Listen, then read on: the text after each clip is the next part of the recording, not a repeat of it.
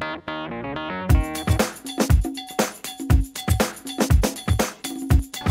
guys, my name is Kenny, and today from the Pam Iorio presentation, I learned to be self-centered. That was my lesson basically for leadership experience. And basically she talked about, you know, being humble, um, love, you know, being humble in your job or in whatever you're doing, you know, if it's your job, if it's your school, wherever you are, be yourself, be humble, love others like that.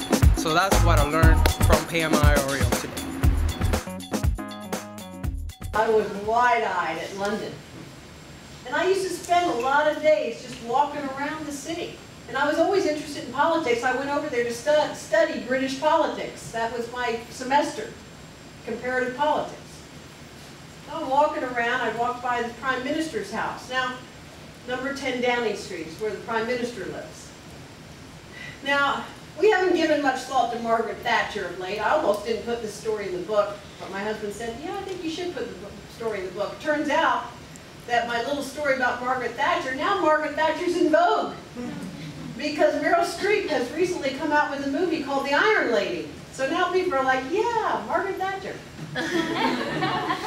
so, when I was a student, I was sitting there, I was watching, uh, you know, this crowd she, had, she was prime minister in the 80s, 79 through the 80s.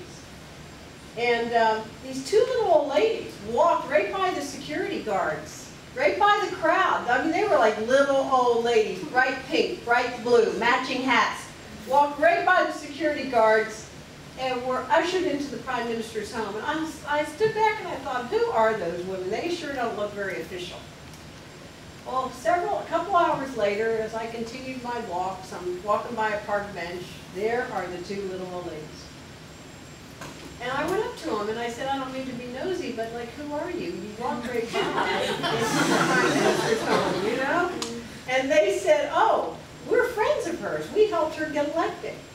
When she first started, she started in this little part of London called East Finchley. I guess everyone starts somewhere, right? And that's where she started, and they helped her in her first campaigns, and they were personal friends. And I said, well, that's really neat.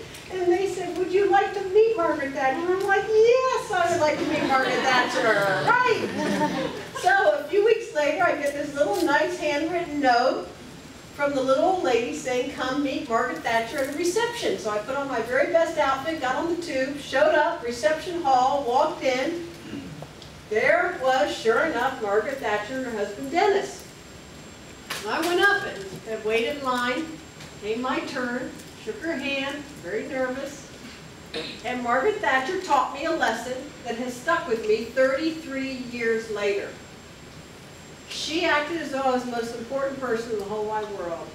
She treated me like I was important. Now, was I important to Margaret Thatcher? I was an American student just passing through. I couldn't have any effect on her career. Was not a voter, was not a British citizen, and would never see her again. But she spent three or four minutes with me, looked directly in my eye the whole time, and asked questions about what I was studying and why I was there. Wasn't it great, the difference between the American system and the British system, and how did I like London, and living with the family, and on and on and on, as if I were somebody important. And I've stuck with that the rest of my life, and you know, I've noticed that about straightforward, effective leaders. They do treat everyone as important. The mayor is important, but so is the cleaning person. The CEO is important, but so is the taxi driver. Everyone is important. You know why? Because everyone's important. and I have Margaret Thatcher to thank for that very, very important lesson. Those are five key principles of straightforward leadership.